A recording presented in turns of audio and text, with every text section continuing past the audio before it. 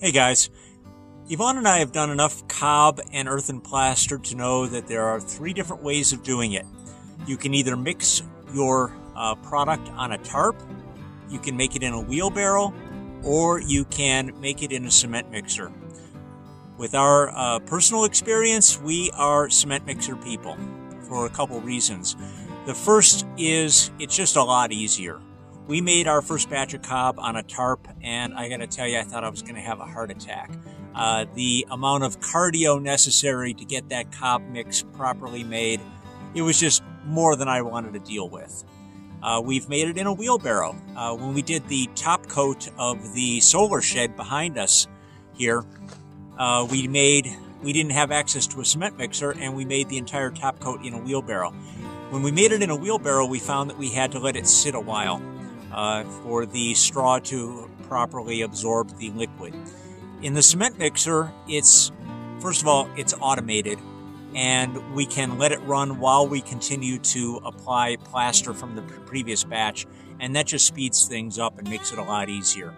So we had access uh, to a cement mixer from our neighbor and friend Derek Handyman Howlett, and you know, at one point in time, you got to say we appreciate being able to borrow it, but at the same time, we should probably invest in our own. So that's what we did.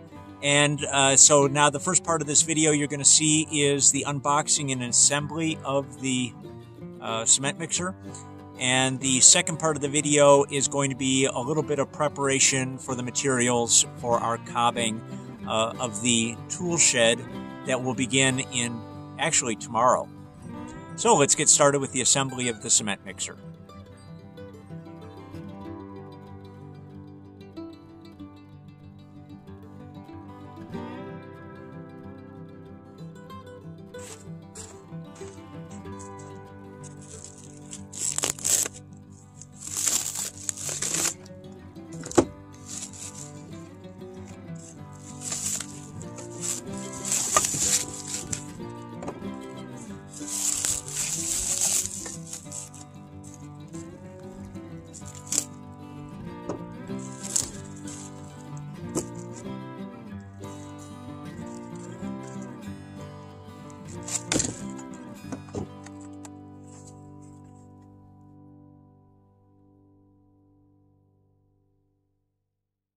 Don't believe everything you read.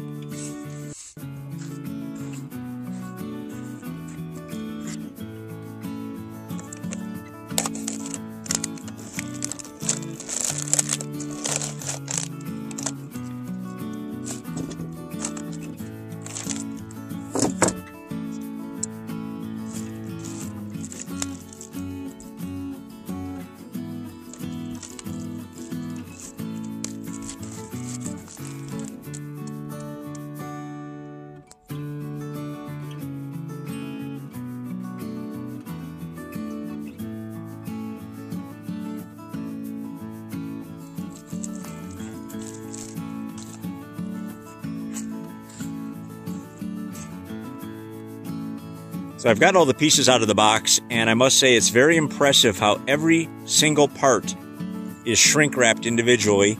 And I also like how they have the appropriate nuts and bolts put in the, the uh, appropriate spots. Let me show you what I'm talking about. So this is the uh, gear mount for the motor, and it's individually wrapped. Every bolt, nut, and washer is already in place so there's no searching around for the right uh, hardware to assemble uh, an individual component. It's a nice touch. The instructions are not difficult to follow, but they are difficult to follow in regards that the pictures are really bad. So I've just started and I'll let you know how it goes. I just wanted to show you how this thing is packaged and it was pretty impressive.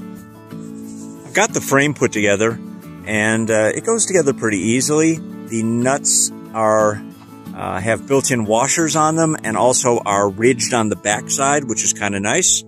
I was going to use some Loctite, but I think I'll wait on that just for the meantime.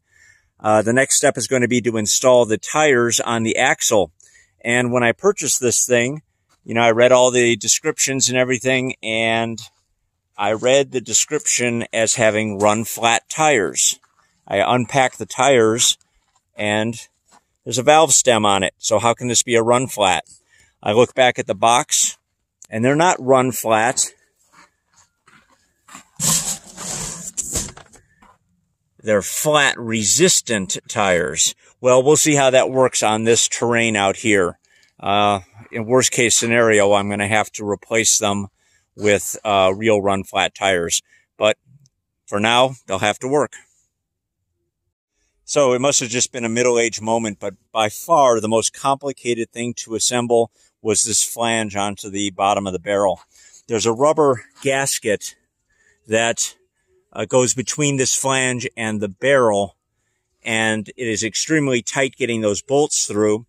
And it was just a little confusing because the instructions are poorly written. Once you realize how it works, then getting the assembly done isn't that difficult. So there you can see it's just bolted to the inside. What threw me was this black flange. See how that has a square cutout on it? The bolts have a square, um, a square shank to it to lock into that type of square cutout. It was the same thing with these uh, six bolts that you see in the center of the screen right there. But then when I looked around and I realized the assembly from the factory shows the nut on the inside and not the head of the bolt, I realized it's just got to be consistent. So I just went with it and I'm sure it'll work. But that was a point where the installation instructions could certainly be improved. So there it is in all its glory. Uh, it took probably about an hour and a half to put together, really taking my time. It's done, and it wasn't difficult. I just had nothing else to do right now, so I thought I'd take my time and you know, kind of enjoy the process. It was strange. The instruction manual didn't even talk about, or the assembly instructions didn't even talk about uh, installing the blades on the inside of the barrel. Perhaps at one point in time they were uh, pre-installed from the factory. So there it is. This will do two, I believe two 80 pound bags at one time, uh, up to three 60 pound bags of cement at one time. It is the half horsepower uh, motor.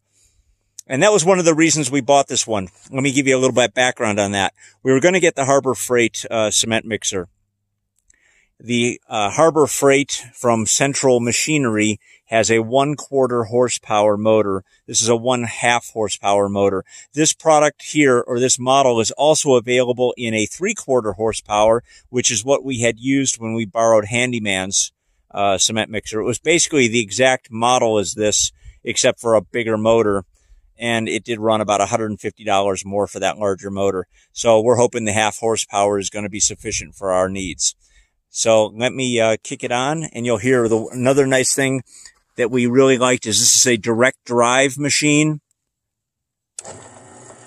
And you can hear how quiet it is. One of the major complaints about the machine from uh, Harbor Freight is that it's really noisy.